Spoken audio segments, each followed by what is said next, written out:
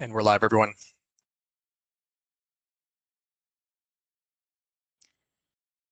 Okay, great. Uh, welcome everyone to our Shaping Guelph uh, Town Hall about growth scenarios. My name is Susan Hall and I'm with Lura Consulting and I'll be your moderator this evening. I just wanted to say thank you for joining us on this um, April evening. Can go to the next one, Natalie. Thank you. Uh, so for those of you who are joining by computer or tablet, uh, you should be seeing that your camera is off and are muted. We will have an opportunity to ask panelists some questions. Uh, we'll have a couple of spots throughout the presentation tonight, and you're welcome to use the Q&A button on your screen, or you can raise your hand uh, and use that feature to, to ask a question. And we'll have some spots in the presentation to do that. So before we formally begin, I'd like to start with a land acknowledgement. As we gather, we are reminded that Guelph is situated on treaty land that is steeped in rich Indigenous history and home to many First Nations, Inuit, and Métis people today. As a city, we have a responsibility for the stewardship of the land on which we live and work. Today, we acknowledge the Mississaugas of the Credit First Nation of the Anishinaabe people on whose traditional territory we are meeting. So again, welcome everyone. Uh, tonight's town hall is focused on both Guelph's growth scenarios. Uh, we're going to be sharing some information with you about the provincial policy requirements for the city and for the Shaping Guelph project. Uh, we will be providing an overview of proposed growth scenario evaluation framework and getting your questions on, on that evaluation framework, and then talking through some growth scenarios and a proposed urban structure. Uh, again, able to answer some questions. The city team will be able to answer some questions if you have any on the growth scenarios and that proposed urban structure uh, with a wrap up and next steps, um, aiming to be finished around 8.30. So I'd like before we begin, I'd like to uh, do a quick round of introductions. I'll just ask the team to sort of wave and say hello. So from the from the city side, we have uh, Krista Walkey, who's the General Manager Planning and Build, Building Services and Chief Planner at the city. Hello, everyone. And we have Melissa Aldunate, who's the Manager Policy Planning and Urban Design. Good evening. And Natalie Goss, who is the Senior Policy Planner. Hi, everybody. And you'll be hearing from Natalie shortly. And Jason Downham, who's a planner with the city. Good evening, everyone. And Andrew Sander, also with the city. Good evening. And we have Patty Kennedy from Dillon Consulting. Hello, good evening. And Jamie Cook from Watson and Associates. Good evening, everyone. So you'll be hearing from Patty and Jamie shortly. Again, my name is Susan and I'm with Lura and uh, we're working on the community engagement aspects and I'm here with my colleagues James Knott. Hi, everyone. And Stella Zhu. Good evening. Okay, great. So with that, I'm going to turn it to Natalie for our overview presentation.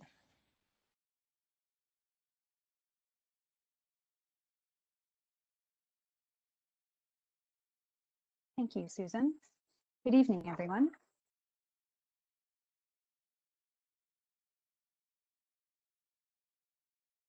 I'll start by providing you with a brief overview of land use planning in Ontario. So land use planning in Ontario starts with the province. The Planning Act sets out the laws for the tools that cities can use to plan. Tools like an official plan, zoning bylaws, plans of subdivision, and site plans. The provincial policy statement is a provincial level policy that provides high level direction for the entire province on priorities and things that cities need to consider as they plan. Another provincial plan is the Provincial Growth Plan, which provides a separate set of policies that apply specifically to an area of Ontario called the Greater Golden Horseshoe. And the growth plan sets out a framework for how the Greater Golden Horseshoe will grow over the next 30 years. And then we move into local level or city documents. One of those is a municipal official plan.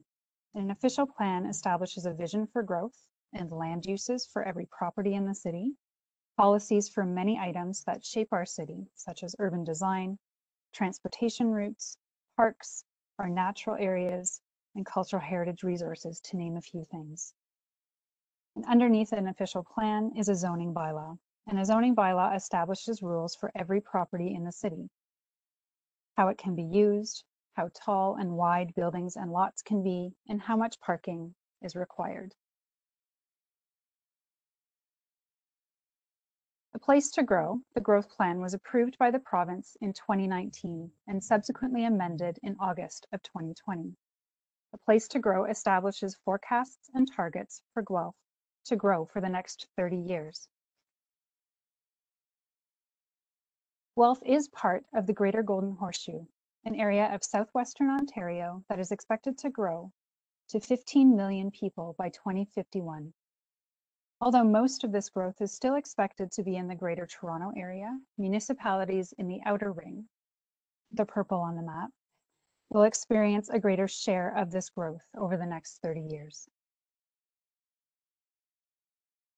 A Place to Grow includes a population forecast of 203,000 people and 116,000 jobs in Guelph for 2051. A Place to Grow requires that we plan for a minimum of half of our new houses that are needed to accommodate our population growth within areas of Guelph that are already developed.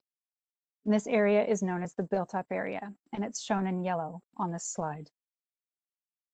We are also required to plan for a minimum density of 150 persons and jobs in our downtown area by 2031, and a minimum density of 50 persons and jobs in our Greenfield area by 2051. Our Greenfield area is all the lands in the city that are not within the yellow area shown on the map. And it includes lands like the Guelph Innovation District in the east and the Clair Maltby area in the south.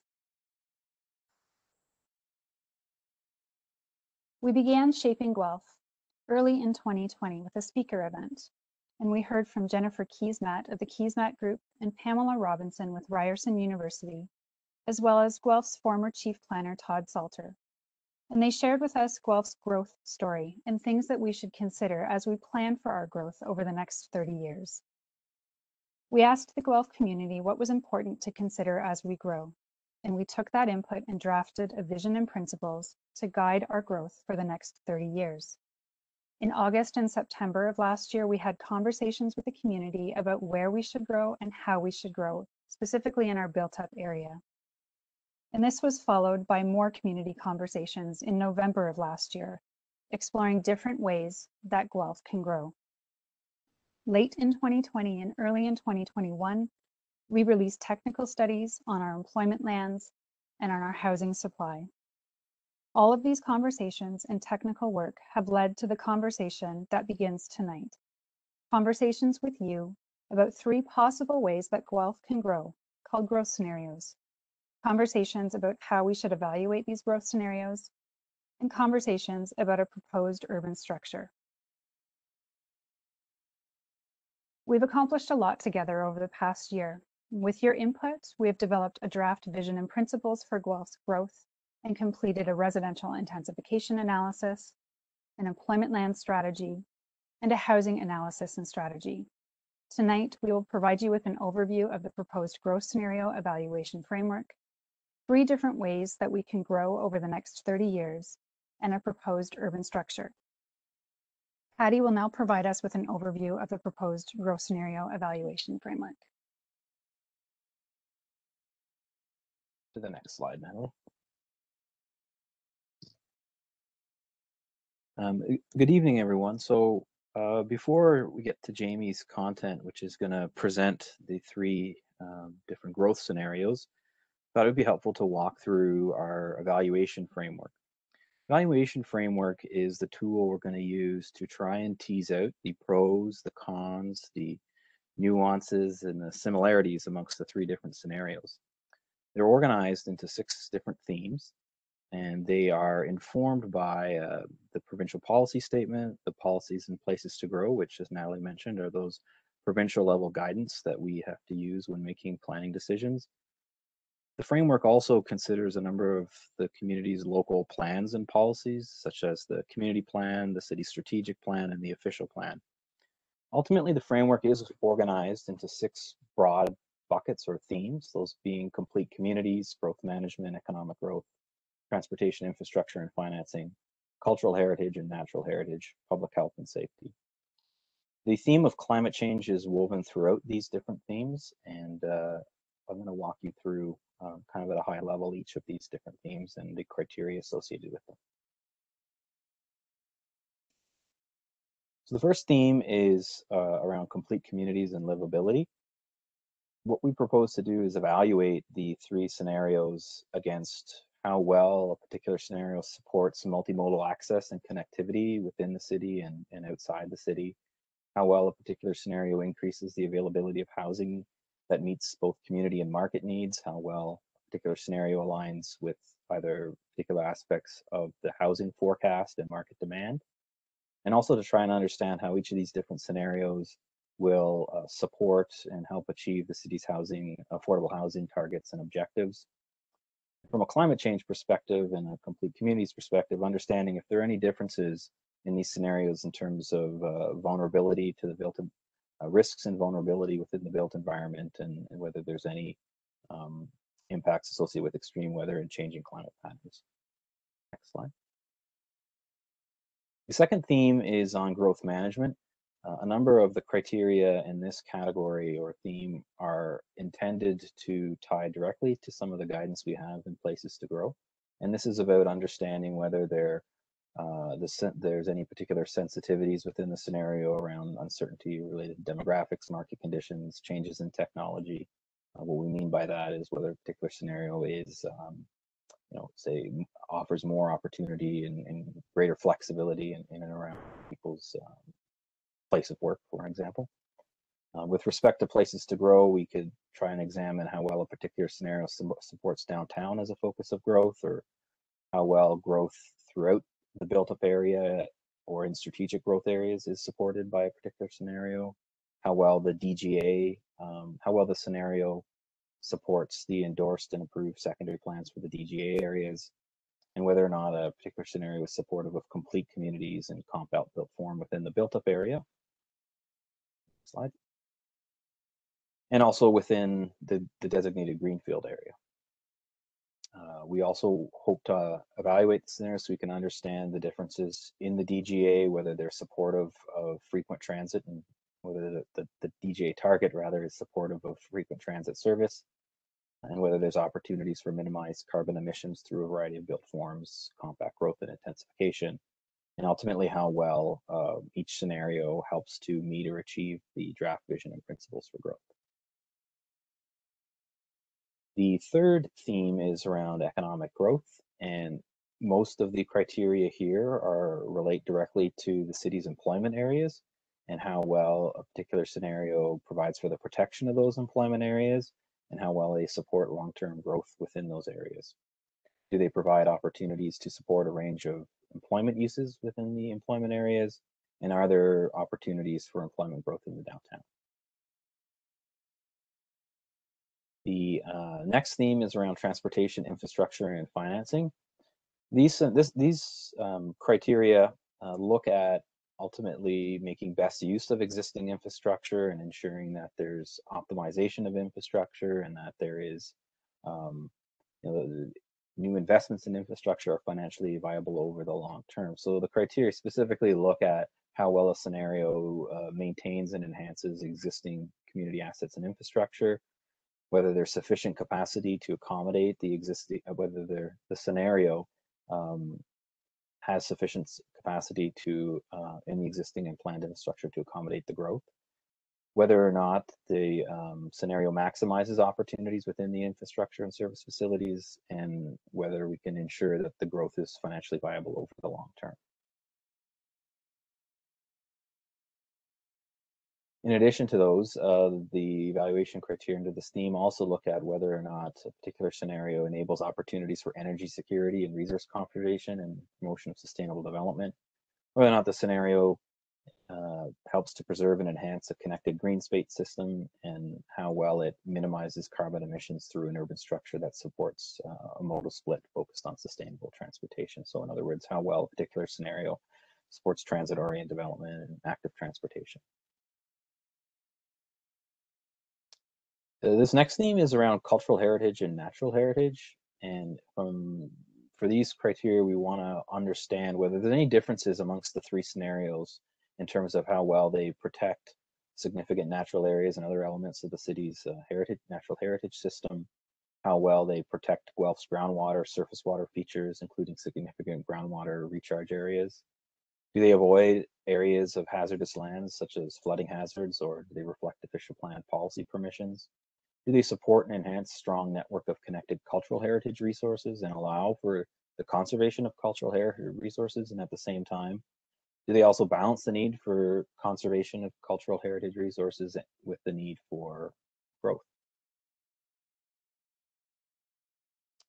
The last theme is around public health and safety, and it's trying to understand uh, whether or not the scenario, how well these different scenarios maintain and enhance transportation safety, and to understand if the pattern of growth supports health and well-being objectives that mitigate public health risks and avoid natural hazards. Um, so these criteria is a guide. It's a guide that we're going to hope to sort of help us make a recommendation on a preferred scenario.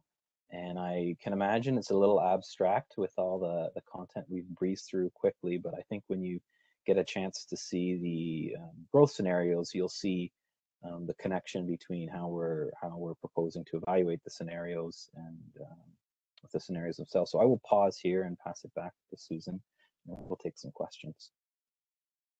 Great, thanks Natalie and Patty. So um, we've given a, a, bit of a recap of the provincial policy uh, framework and then Patty's highlighted the evaluation framework that's looking at sort of a series of, of six themes uh, with climate change woven throughout. So just wanted to see if there are any questions that have come in either through uh, this meeting or uh, through the Facebook um, questions as well. We can take any of those. So James, any questions um.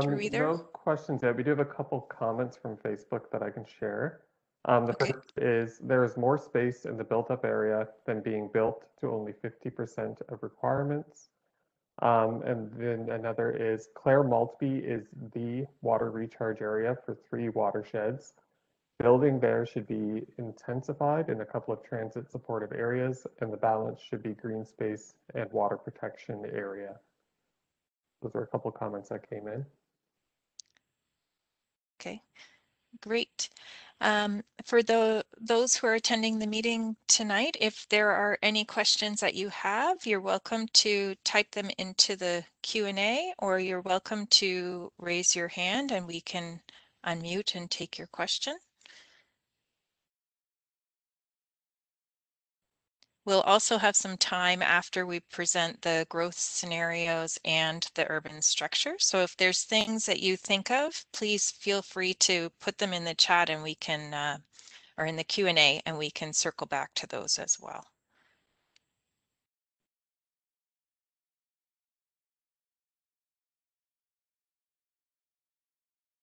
Okay, I don't see any questions uh, coming through, so we'll just um, keep going from here and I'm going to turn it to Jamie to provide an overview of the growth scenarios.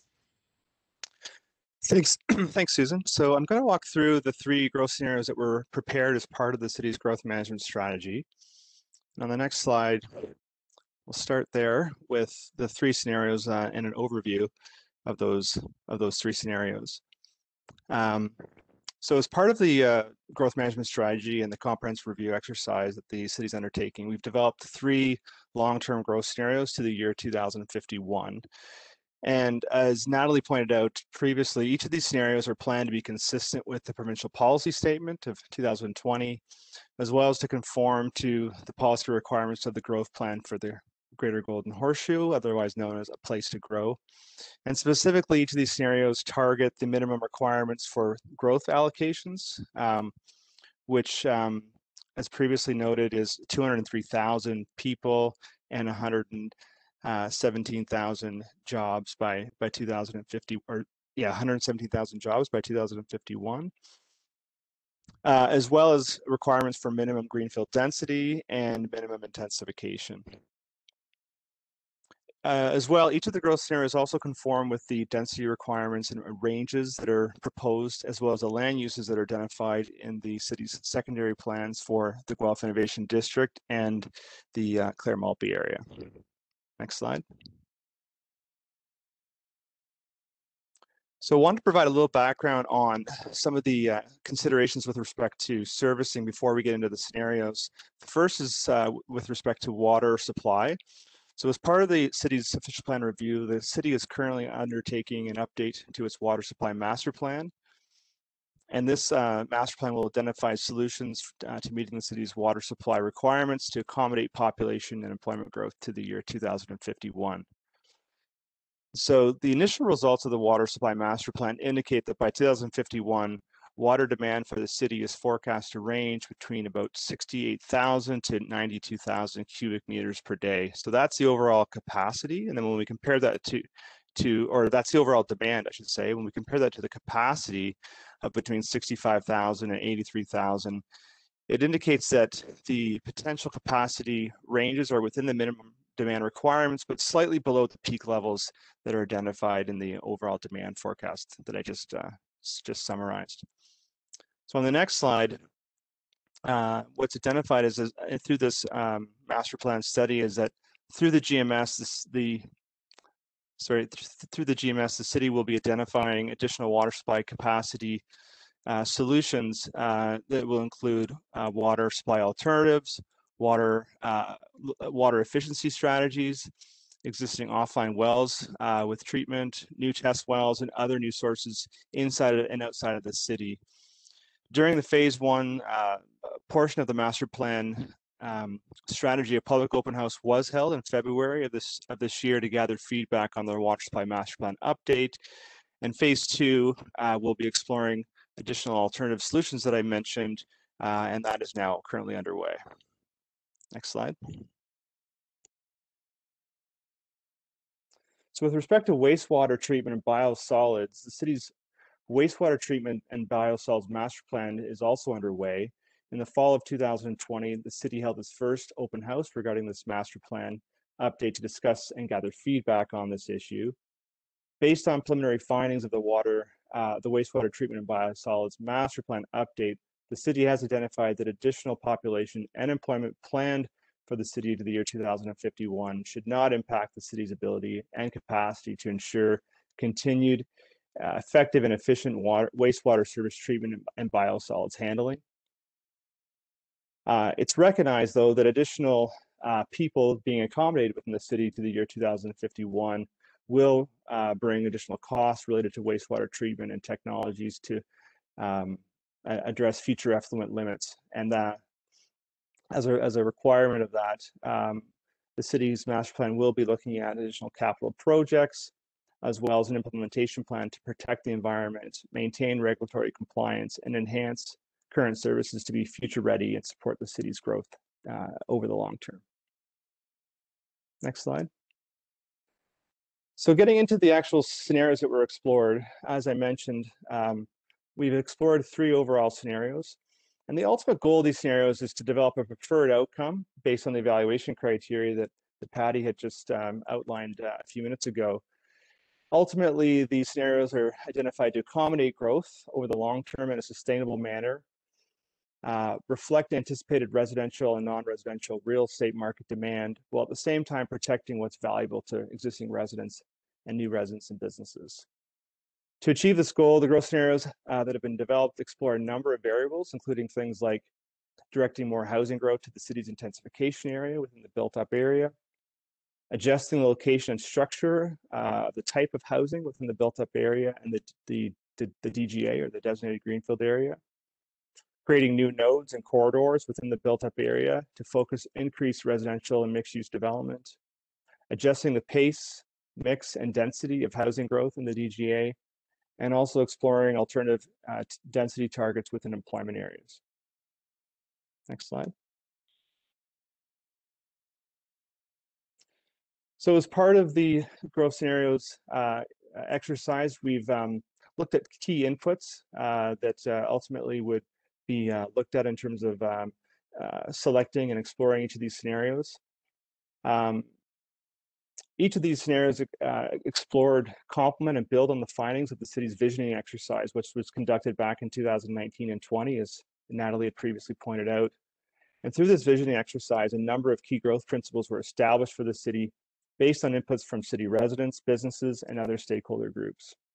All of these principles are relevant to the growth scenario evaluation, but there are, there's a few key principles which are important to highlight tonight that directly impact uh, the scenarios that uh, we're going to walk through. Uh, a couple of those key ones are accommodating new people and jobs within the city's built boundary through greater intensification, particularly in the downtown area as well as other strategic growth areas.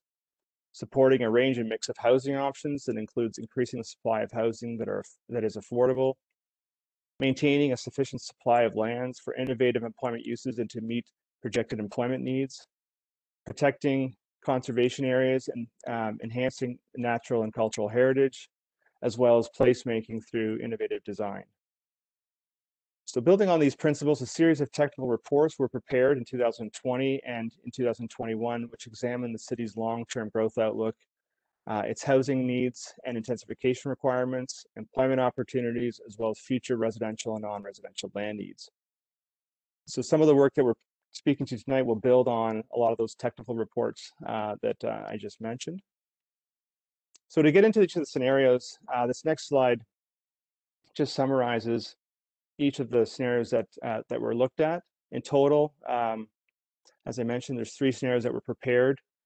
Now, it is important to recognize that um, the growth scenarios that were uh, uh, established, the, the, in those scenarios, the metrics associated with each of these scenarios do not really change significantly due to the fact that the city's urban boundary is fixed and that the largest remaining greenfield areas with, uh, in the city are already comprehensively planned. We're also required to plan for a minimum amount of people and jobs to 2051 that I previously mentioned as part of the growth plan. So each of the scenarios plan for that minimum requirement. None of the scenarios go over that uh, minimum requirement, uh, however. So scenario one meets the minimum intensification requirement assumption of 50%. Uh, it also meets the minimum requirement of uh, DGA density and actually exceeds that target, uh, achieving an overall average of 66 people and jobs per hectare. And it also utilizes the city's existing urban structure in its uh, overall um, uh, assumptions and, and, framework. Scenario two uh, adds more medium density housing and some um, additional low density housing supply opportunities to the city's built up area in response to stakeholder feedback uh, received during the consultation process in 2020 earlier on this year and last year. Um, and uh, also provides more options to meet market needs for grade related housing, which was a key response that we heard through our consultation process. Scenario three adds even further medium and, and low density housing supply to the city's built up area which results in an increase in the intensification target under this scenario from 50% to 55%. Next slide. So again, just to recap the first scenario, this scenario meets the minimum intensification assumption of 50% and exceeds the minimum growth plan requirement for DGA density at an average density of 66 people and jobs per hectare it utilizes the city's existing urban structure and it endorses the preferred structure for the Clair Maltby secondary plan area. Next slide. So this provides just an overview of the growth scenario in terms of spatially how it um, um, meets, uh, it looks and how it meets the targets uh, or reflects the targets of the growth plan and the city's current uh, official plan targets. So again, uh, this map is showing the built up area in the purple area that Natalie had previously identified. In the uh, cream color, that is the designated greenfield area outside of the built up area. So it's all the remaining lands within the city's uh, corporate boundary that are not identified as being built. And so that built up area was, defi was defined by the growth plan uh, back in 2006 and it remains intact today under the current growth plan. So under this plan, you can see that the uh, requirement for intensification is being met at 50%, as I mentioned, and the overall greenfield density target is coming in at 66 people and jobs per hectare. Now, just want to point out uh, that when we look at greenfield density, this density target is um, looking at the overall target for employment in community areas. So 66 people and jobs per hectare does not include uh, jobs that are what what are what what would be defined as employment area jobs or jobs in industrial areas within the, the city. Uh, those those densities would be lower uh, on average than uh, what's shown here. They're averaging around 40, around 47, targeted to average around 47 uh, jobs per hectare in the employment area. So just wanted to point that out. Uh, next slide. So in terms of the overall housing mix that's achieved through this uh, scenario one, uh, this looks at the incremental amount of housing between 2016 and 2051. And you can see um, that uh, in uh, the pink and the, uh, or, uh, the orange color here, that's the overall amount of low density and medium density housing. So that's the grade related housing component that, I, that I spoke of. About just under one third of the projected housing that's being accommodated in the cities in that grade related housing form. 57% uh, of the projected housing from 2016 to 51 is anticipated to be in high density uh, housing. So high density housing is all apartments that uh, are uh, would be including uh, low rise, medium rise, and high rise apartments. And then lastly, we have 11% in the blue, which is the identified amount of housing and accessory apartments or what we would sometimes call secondary suites. And those units are typically going to be accommodated in uh, low density housing and uh, stable residential neighborhoods um, to and to a lesser extent and maybe in some other areas that um, in in medium density zoned areas that can accommodate uh, secondary suites. Next slide. So this next scenario, um, in terms of the summary, uh, as I mentioned, accommodates additional medium uh, density housing and uh, a small amount of additional low density housing within the city's built up area. Uh, this is uh, accomplished largely through additional intensification um, identified through um, the uh, intensification of the city's urban reserve lands in South Guelph, which I'll speak to in a bit more detail as we go forward. This uh, scenario slightly reduces the amount of high density housing within the built up area, primarily within the city's strategic growth areas, uh, and under the scenario, the overall amount of intensification uh, in terms of the, the, the, percentage target remains consistent at 50%. So one of the key objectives of this scenario was to uh, provide um, at least as much intensification uh, within the, uh, the built-up area, but allow for a broader mix of housing by, by structure type, and really focusing in on that um, missing middle, uh, which is sometimes called in the medium density housing category. So we're looking primarily at um, opportunities in the medium density housing range that are um, grade related, uh, but are uh, affordable, more affordable to to um, to first time home buyers and more moderate income households. Next slide. So again, uh, this uh, scenario uh, doesn't provide an overall change in the overall uh, targets uh, between intensification and uh, greenfield density. Um, so there's more, you know, minor adjustments that are being made here, largely, as I said, with respect to the housing mix, but the overall broad targets remain unchanged. Next slide. So when we look at the overall mix of housing uh, incrementally that this uh, scenario is producing over the 2016 to 2051 period, we can see that this scenario shifts um, a little bit more of that mix towards um, low density and medium density housing. The uh, grade related housing supply in this, uh, or demand, I should say, in this forecast is increasing by about 5%.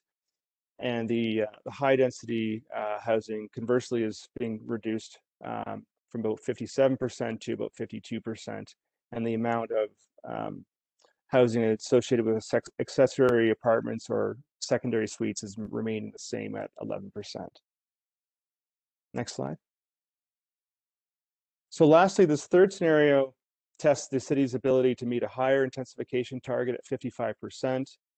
Uh, it allows for greater residential residential intensification, but at the same time increases the supply of grade-related housing options within the built-up area.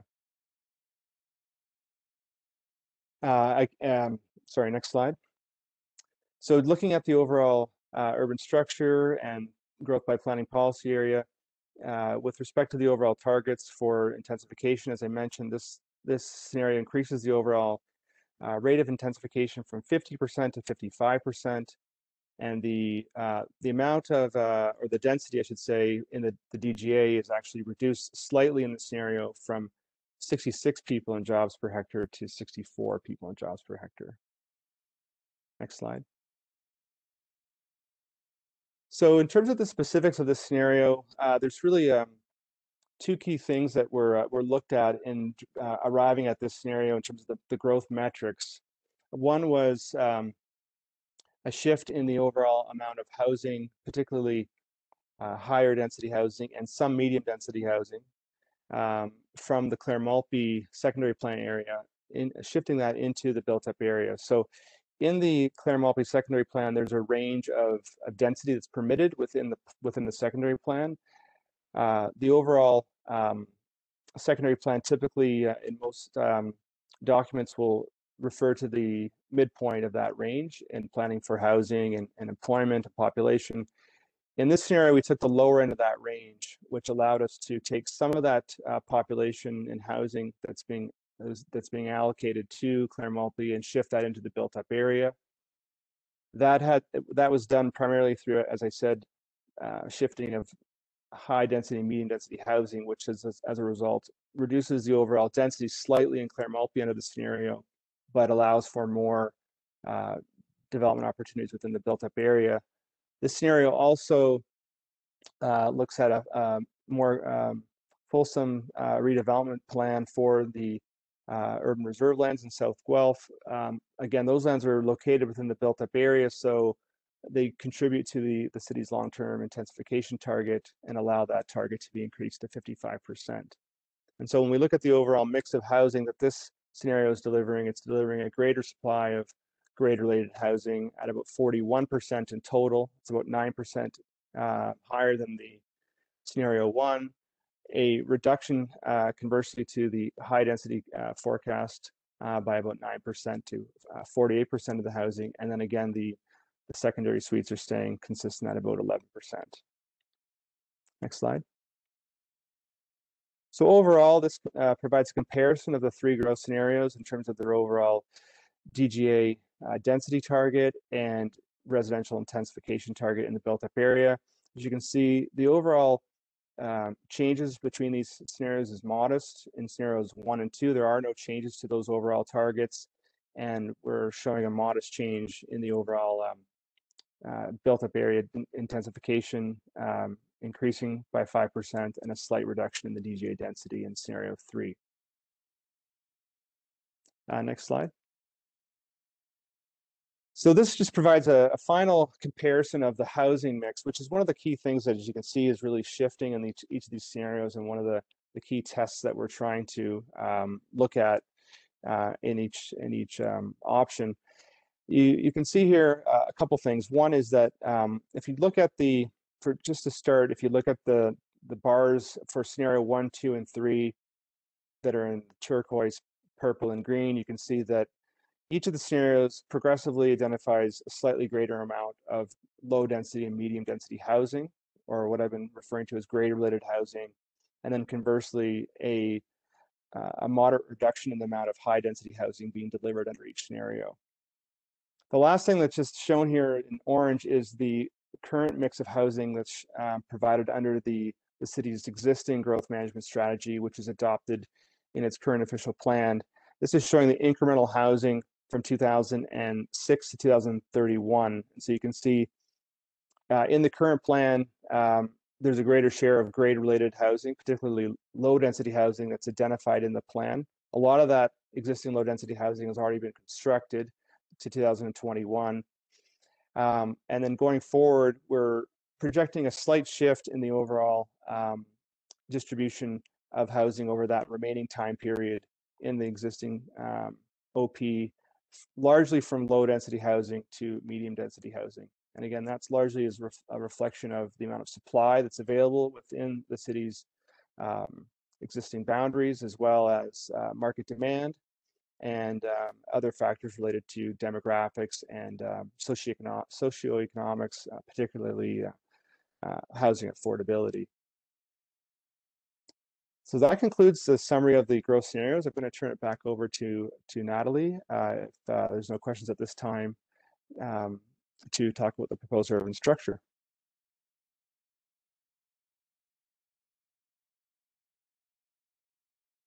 Thank you, Jamie. So I'll give a brief overview of a proposed urban structure.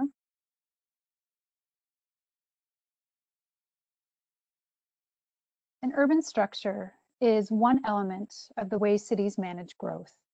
An urban structure defines areas of the city which are the focus of growth. And it can also show areas that are protected for employment uses and areas planned for future urban uses. So our designated greenfield areas like the Guelph Innovation District um, and Clair Maltby. As part of shaping Guelph, we have reviewed our existing urban structure, which is in place in our official plan now to, that guides our growth to 2031. And we're recommending some updates to it. The proposed urban structure has considered direction from a place to grow, such as requiring municipalities to focus growth within our already developed areas, and specifically in strategic growth areas. We've also considered community and stakeholder conversations that we had throughout 2020. And what we heard through those conversations is that our current model for growth, which is directing growth to nodes and corridors and downtown throughout the city, is working well, and that we should continue to direct growth to strategic areas of the city. The proposed urban structure also considered the technical work completed on residential intensification our housing analysis, and our employment analysis. So what exactly are strategic growth areas?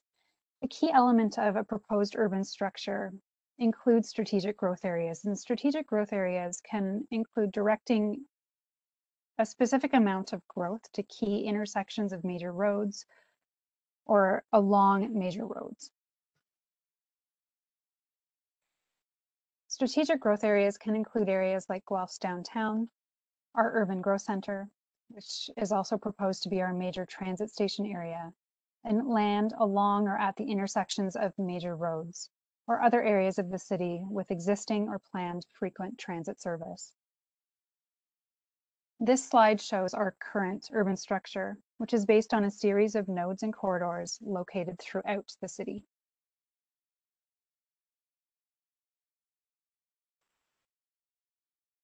Here's a map that shows what we're proposing as an updated urban structure. The proposed urban structure maintains most of our existing nodes and corridors and recommends that they become strategic growth areas. It adds new strategic growth areas in the Clair Maltby Secondary Plan area and the Guelph Innovation District. And these strategic growth areas proposed in these greenfield areas are consistent with the in progress and approved secondary plans. The proposed urban structure also adds a new strategic growth area along Clair Road East to provide a focus area for growth in the southeast area of the city. It identifies employment areas of the city, including the Hanlon Creek Business Park, the Hanlon Business Park, the Watson Industrial Area, and the Northwest Industrial Area. This proposed urban structure maintains our current downtown and urban growth center boundary and recommends that it also be considered our major transit station area. To learn more about the proposed urban structure and how it was developed, you can read a technical brief that's available on our Have Your Say website and the project page as well. So that was just a very quick, brief overview of our proposed urban structure. And I'll turn it back to Susan now for any questions on the material that we've covered so far in the presentation. Okay, great. Thank you, Jamie and Natalie. Um, I'm going to turn it to James. So any questions coming through um, through the chat or through Facebook as well? We're happy to take them from from either spot. Uh, yeah, we have quite a few from Facebook and a couple here in WebEx. Um, I'll start with Facebook because that's where most of our activity has been. Um, the first question, how is the Dolime area being thought of given the direction of Guelph, Eramosa Township, Guelph, and the landowners?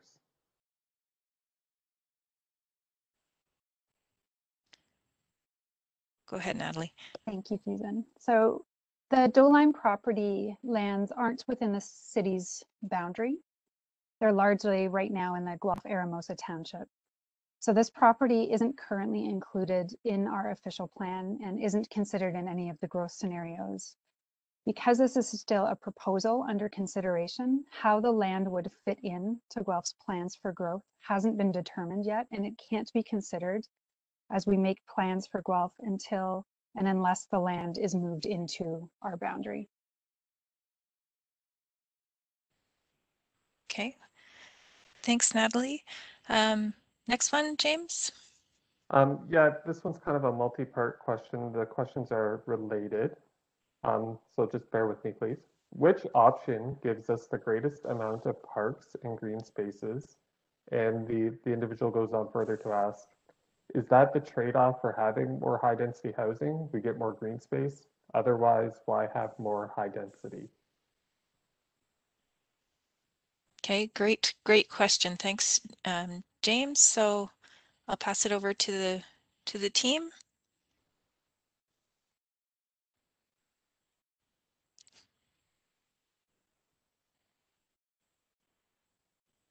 was waiting for Jamie to jump in there first, but um, I can I can start off. Um, so all of the options give us opportunities for um, for parks and open space. All of the options um, protect and enhance our natural heritage system. What we looked at through each of the growth scenarios is making the most efficient use of land that is identified for for urban uses. So lands that are for specifically for for growth. Um, the higher the density of a particular housing unit, the more space there is on the ground for other things to happen. Um, so there is the opportunity that the more units we put in a particular building, that the more opportunity there is for for landscaping on a particular lot or other other types of uses. Jamie or Patty can add to that. That's a too. good answer, Natalie. I'll, I'll just add that uh, the other benefit of the high density forms of housing is they are typically provide a bit of the backbone for uh, your transit network and transit system. So theory being the more density we have, the more opportunity we have for transit and the better service we can provide. I'll just add to that. Um, wanted to sort of focus more on the aspect about why we need to have high density housing. Um, from a from a market standpoint, um, uh, and from a housing uh, delivery standpoint, we want to make sure that we have provided a, all the options provide a, a, broad range of housing options by structure type, um, built form, as well as uh, price point. Um, it's important to make sure that we're accommodating all aspects of the the market. Um, so when we're looking at uh, who's going to be coming to Guelph in the next 30 years, um, and who's going to be looking for homes who uh, currently live in Guelph, we know that there'll be a broad range of of, of, of buyers, uh, ranging from you know, first-time home buyers and young young single uh, individuals to um, families, uh, growing families with children, uh, then moving on to empty nesters and seniors and there's lots of different factors going on here. One of the key factors is that, like um, all areas in Ontario and, and more broadly across um, Canada, the, the, the population's aging. We're going to see a significant increase in the amount of older seniors. So just focusing on just one aspect, um, which is a key one, that age group is going to require a real range of housing, particularly um, in that older seniors group. There'll be a need for more high density housing options and other options geared to seniors like uh, like seniors housing and um, assisted living and other other um, similar uh, appropriate types of housing for for seniors. So that's a, another key reason why we want to accommodate more high density housing. Obviously, there's a need for a broad range of housing by tenure as well. So when we look at housing, it's not just ownership housing, but it's also rental housing. A large share of the rental housing um, supply will come through um, high density forms. So just more uh, facts on the, uh, the high density housing forecast. Okay, great. Thanks all three of you for, for contributing to that one. Um, we had a similar one uh, through the event as well, which was what do all three plans say about provision for parks as we currently have a deficit in most areas of Guelph. So if there's anything to add on sort of parks specifically, Natalie or, or team?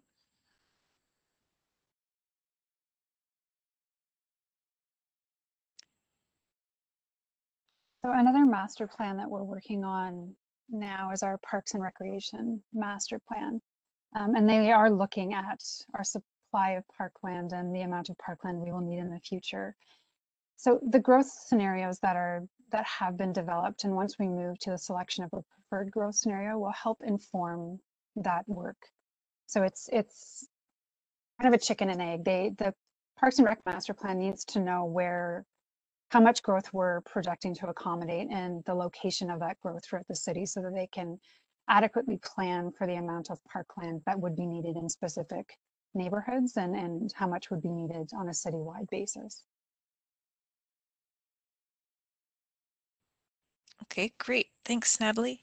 Uh, James, next ones. Um, a quick question of clarification. Does high density equate to high rises? It just yeah to uh, respond to that it's um, it's meant to um, reflect a, a, range of, of housing in the apartment category from low rise um, apartments uh, you know one to four stories to mid rise all the way up to high rise so it's uh, meant to accommodate a range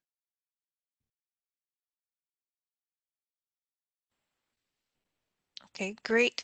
Um, we had another one uh, here, which is, could you speak to the densities in the Guelph uh, Innovation District area?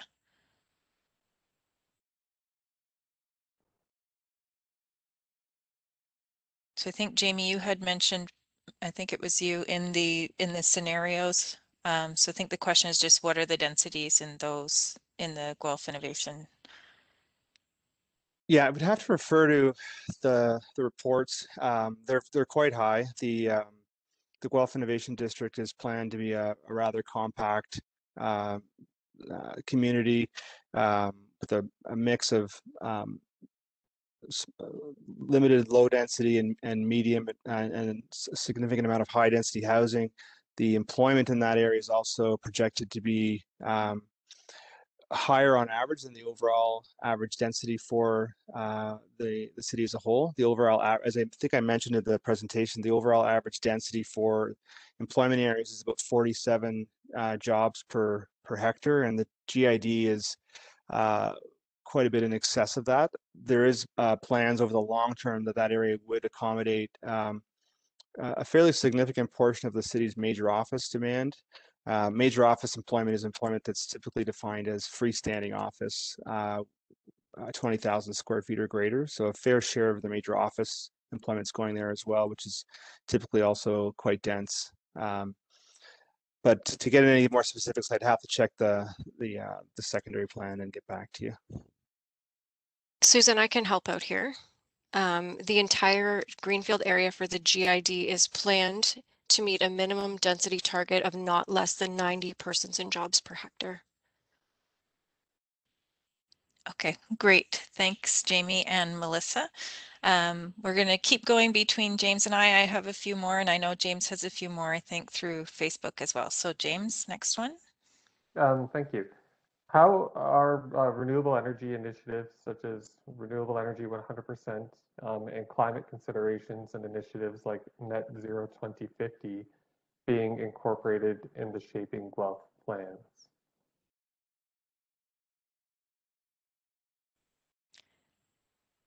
So Natalie, I'll start with you, and then if there's somebody better to answer that one. Sure, I'll start. Not better, different. different. Better's fine, better's fine. Um, as Patty mentioned in the evaluation criteria, those are key things that are going to be looked at as we evaluate each of the growth scenarios um, together with uh, community and stakeholder input on what should become a preferred growth scenario. As Patty mentioned, there's a number of criteria woven through the evaluation that'll help us understand which growth scenario puts us in a the best position for climate change um, mitigation and, and adaptation, um, and looking at our commitments to uh, become a net zero community. Patty, I don't know if there's anything else you'd like to add to that.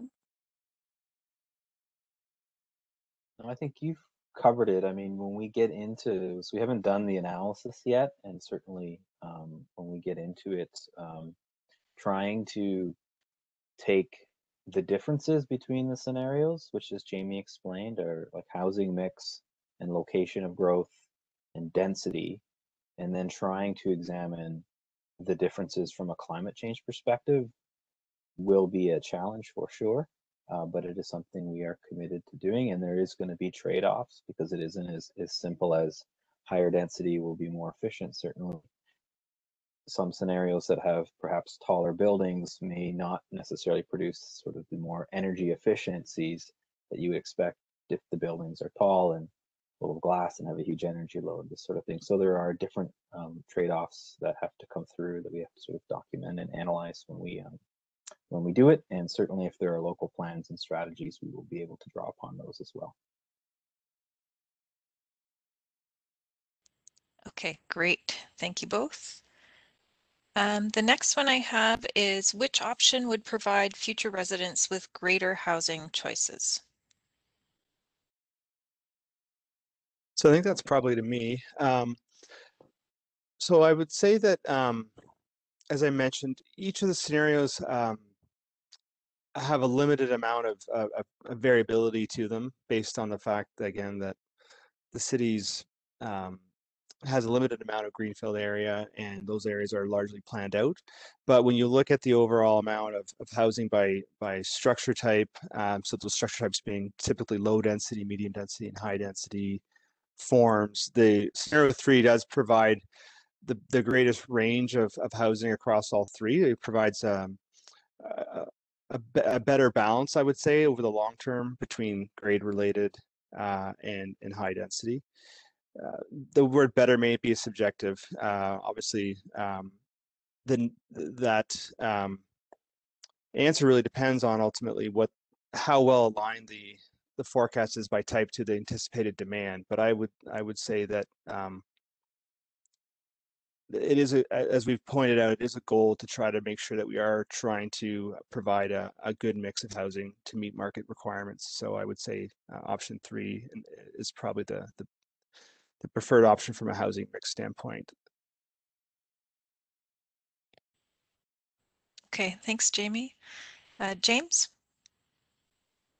Thank you. Um, our next question from Facebook is the downtown height limit open for discussion yet, or are we limited to paving greenfield slash low height infill?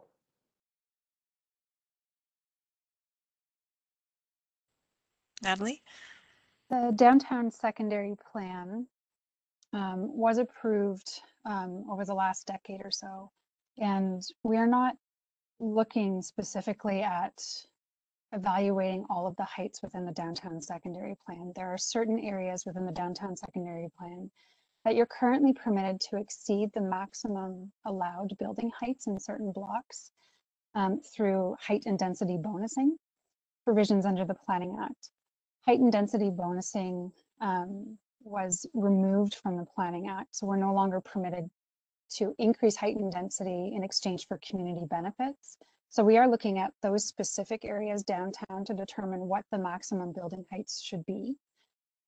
Part of the work that we've done on the growth scenarios um, is really looking at what capacity do we have within the approved downtown secondary plan to accommodate growth beyond 2031. And through that work, it has been determined that there is capacity built within the approved downtown secondary plan to accommodate additional growth within the downtown secondary plan, leaving the maximum building heights and the land uses as they are approved.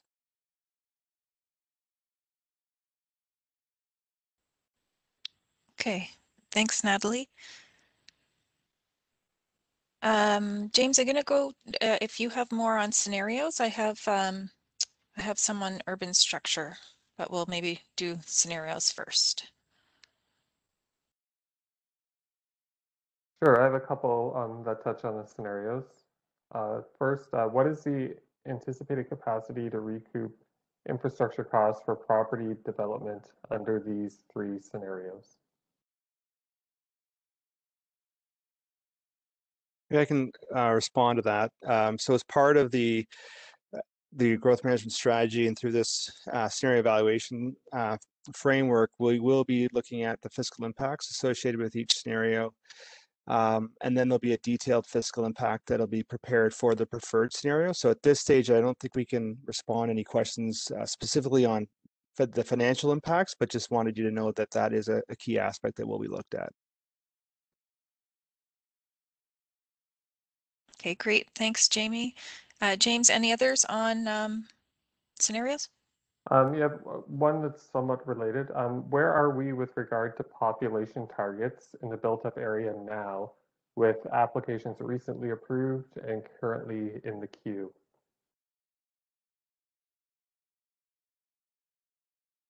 I could uh, Mhm. take a crack at that. I that. was going to give uh, Jason a Oh, chance to yep. jump in on that. if- de- definitely. Uh, sure, yeah, I can take a stab at that. Um, so since 2006, um, we have experienced approximately 49% of all of our residential growth within our built-up area. And uh, currently our target is only 40%.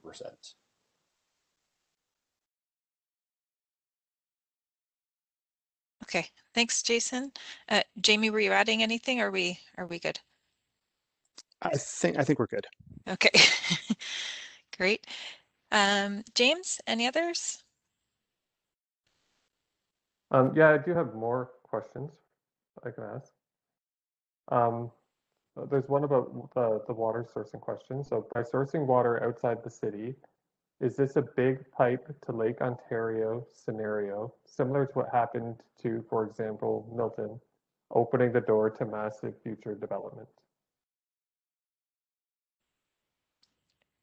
So Natalie, through you? Sure. Um, so none of us here tonight are the experts on our water supply master plan, so I'll just put that out as a caveat. But my understanding of the work that's happening through that master plan, additional water supply sources would be looking at um, the drilling of potential new water supply sources, so new wells or making more efficient use of ones that have come off stream, needed to be remediated and put back um, put back into service.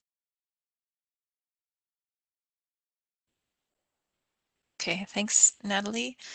Um, I have, I have another one on the built-up area. So the comment is the built-up area is from two, two, sorry, 2006.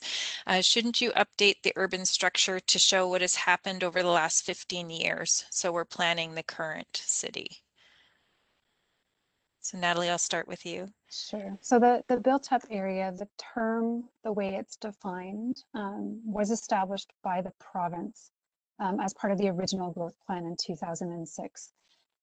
Um, and it it's a term and it's a measurement that that is trying to be consistent as we move through different growth plans over time so that we're when we're comparing how much growth is directed in already developed areas, it's the same measurable over time. As you can see from the growth scenarios, we are planning, and the urban structure, sorry, we are planning for growth throughout the city.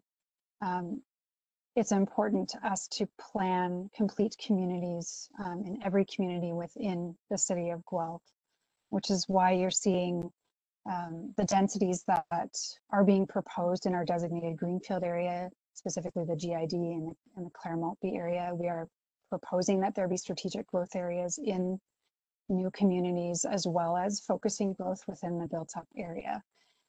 The built-up area definition and its reference to 2006 isn't just a, a Guelph thing. It's a term that's used across the growth plan. So everyone in the Greater Golden Horseshoe, their built-up area is measured um, at a line that was drawn in 2006. Okay, thanks Natalie for clarifying. Uh, James? Do you have any others? Um, yeah, I have one from WebEx. Uh, the Okay. former Chemtura factory redevelopment at 120 Huron Street seemed an ideal candidate for reduced parking requirements as it offered secure bike parking and its location was ideal for active transportation and transit. Will there be more of this type of redevelopment approved with reduced or even no parking require, requirements in similar locations?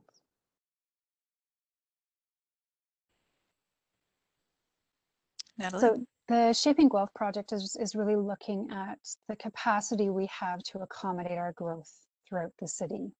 It isn't looking at site-specific considerations. So the example of 120 Huron would be an example of a site-specific consideration and the parking appropriate with that site. We are um, at the same time doing a comprehensive zoning bylaw review where we are looking at what our parking minimum rates, parking maximum rates, bicycle parking rates, um, and other transportation demand management measures should be in a zoning bylaw going forward.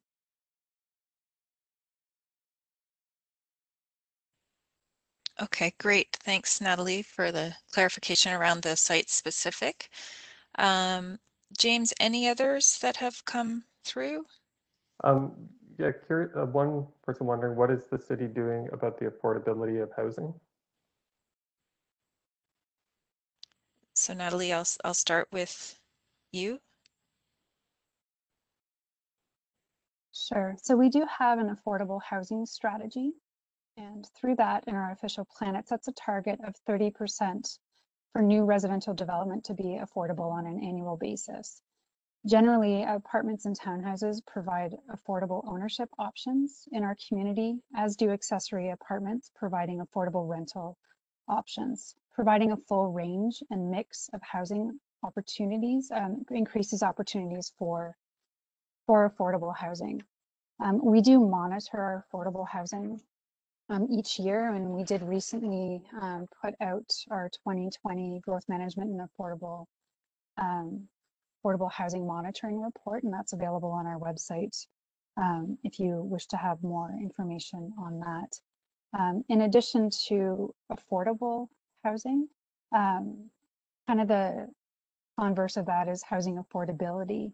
And Shaping Guelph is exploring how and where we should uh, grow to plan our forecast to 2051. We're looking at how much land we need for different types of uses and what our housing mix should or needs to be over the next 30 years. And that's a key component and a key difference between the three growth scenarios.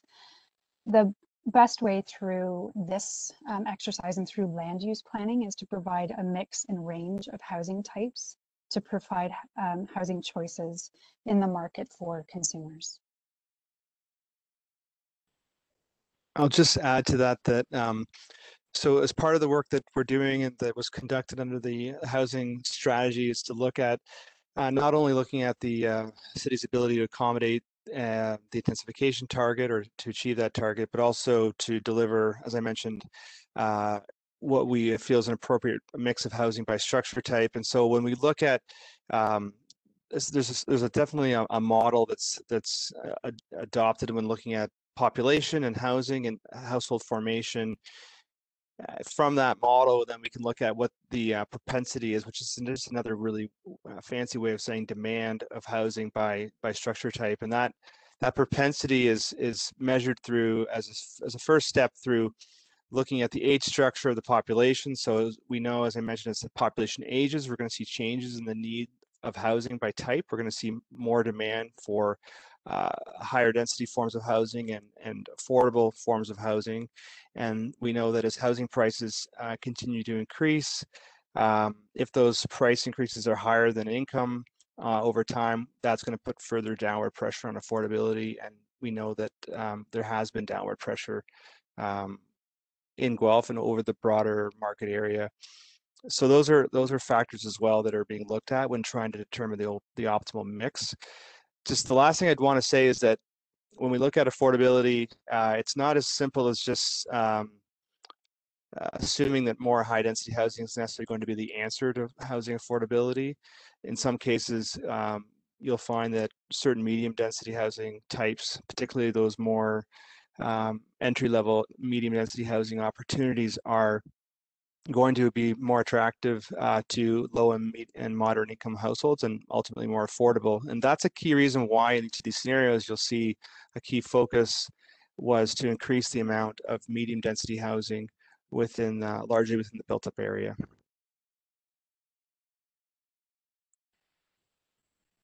Okay, thank you both. Um, James, any more? I don't have any more in Q&A for me. Um, one more, uh, how will the city be using public feedback? Natalie? Thank you. Community input provided as part of the growth scenario stage of Shaping Guelph will be used to inform the selection of a preferred growth scenario and ultimately an updated growth management strategy for Guelph. Community input that was received throughout Shaping Guelph already has been used to inform an updated vision and principles for growth, the selection of growth scenarios, and the proposed urban structure. So at, at each key milestone, we use the input that we've gathered to inform the next steps. What we're hoping um, you'll provide us through our online survey and your questions and, and any comments you provide um, is to help us um, inform the selection of a preferred growth scenario. And then we can develop a growth management strategy around that, around that selected scenario for growth. Okay, great. Thanks, Natalie. Um, as I said, I don't have any, I don't think I have any more that have come through. Uh, James, do you? Uh, no additional questions, no. Okay. Oh, we've got, actually, I do have one. Um, so there, there is a question that's come through. The goalposts through which the options have been developed are quite narrow. Have any other more robust options been considered? So Jamie, maybe I'll start with you. Sure, thanks, Susan. Uh, it's a good question. Um, we we did uh, look at a, a, range of of options, um, but ultimately we came down, as you as you noted, to a fairly a narrow uh, set a set of goalposts, so to speak. Part of that reason is uh, when we started off through this process, looking at the uh, optimal growth projections uh, for Guelph to 51 for population employment. Um, the growth plan requires that we project to a minimum of that 203,000 and 117,000. Um, so 203,000 uh, people and 117,000 employment target.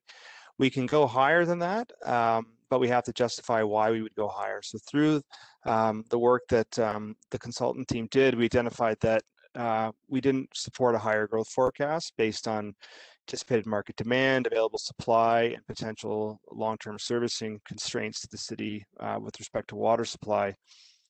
So, so we have a, uh, a forecast that we've established as a minimum that we can't go below. We haven't gone any higher. So that kind of keeps the overall targets uh, or scenarios uh, limited to those targets.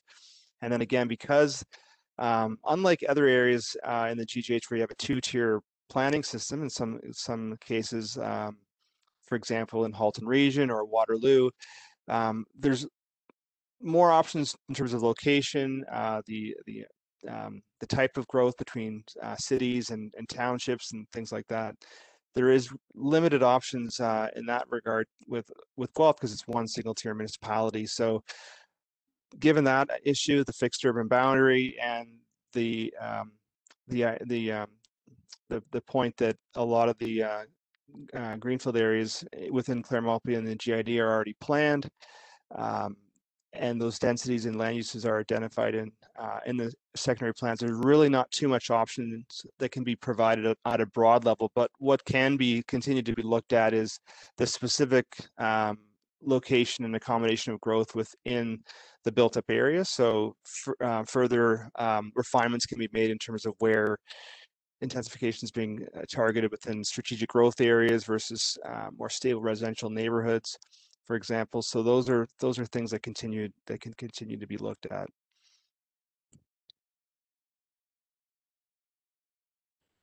Great, thanks, Jamie. I'll just give it another minute or two if there's any others. I have a question that come through? Facebook. Okay, great. Thanks, Thank. James. Um, someone asks, when is the Shaping Guelph staff report being presented for receipt at council? Natalie? Thank you. Um, our next um, check-in with council will be with a preferred growth scenario and growth management strategy. And at this time, we're anticipating that that would be sometime in the fall. After that, um, that work will inform updates to the official plan. And so there will be um, an official plan amendment prepared that will be taken to a statutory open house and a statutory public meeting. All of this is working towards an end goal of having an amended official plan, um, an amended official plan um, approved um, sometime in June of next year.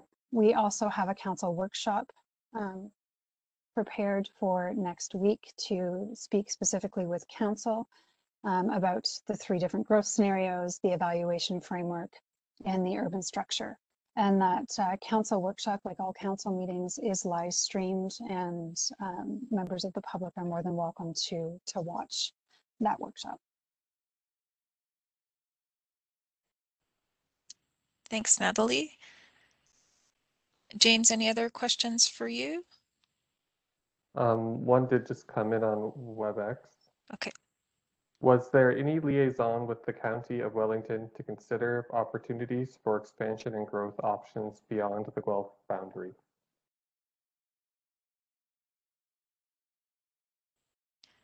So Natalie, I'll start with you. Sure, we do um, talk often with with the County of Wellington, so our, our friends there in, in planning. Um, the topic of an urban boundary expansion is not one that has been explored to date. As Jamie mentioned, um, the growth plan does require us to look at the land that we have and do we have the capacity, the ability to accommodate the growth that we're projected um, within our current boundary. And through the work that um, Dillon and Watson um, have done to date, it has been confirmed that we have the capacity within our greenfield area and our built up area to accommodate our growth within our current urban boundary. So the option of expanding our urban boundary, our settlement area is not one that has been explored to date.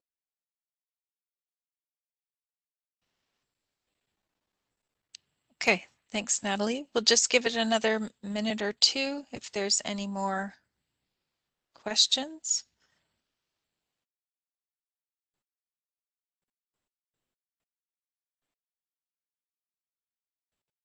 These have been great questions tonight. Um, I think it really helps people understand sort of the scenarios that are presented and the evaluation framework. So thanks everyone who's been asking questions both on Facebook and through the WebEx meeting tonight. I don't see any other questions at this time. James, are you, you good? I have no further questions to, to share either. Okay, great. So I think with that, I'll invite um, Natalie to just cover off the next steps and uh, closing remarks. Natalie. Thank you, Susan. So we kind of touched on this already, but the input that you provide on the growth scenarios and the proposed evaluation framework and the urban structure will be considered by the project team as we begin work on selecting a preferred growth scenario and then developing a growth management strategy for Guelph.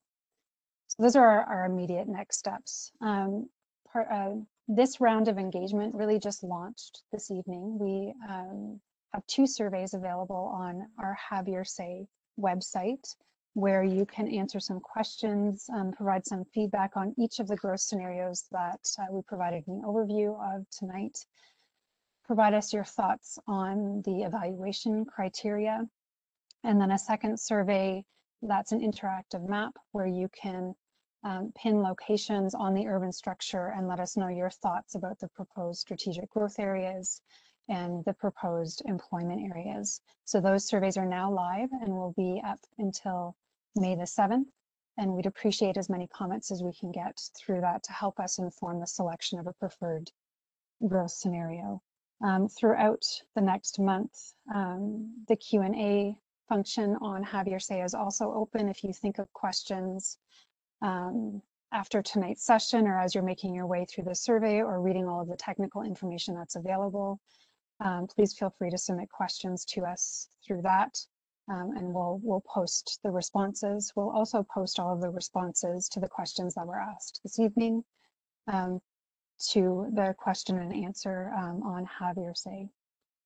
Um, so those are our immediate next steps. We do have some stakeholder conversations planned throughout the month of April um, and a council workshop planned for next for next Wednesday um, evening as well. So I don't I can pass it back to Susan for some final thoughts. Great, thanks, Natalie. Um, if you could just put the next slide up, it has the links to have your say. So as Natalie mentioned, it would be great to hear from as many people as possible um, by visiting Have Your Say. If you do have questions, you're welcome to submit them there. Or there is the plan 2051 at guelph.ca as well. Um, so I just would like to thank everyone for their time this evening, for those who watched on, on Facebook and those who attended the WebEx, and uh, encourage everyone else to take uh, a little bit of time to fill out those surveys on Have Your Say. Thanks, everyone. I hope you have a great evening.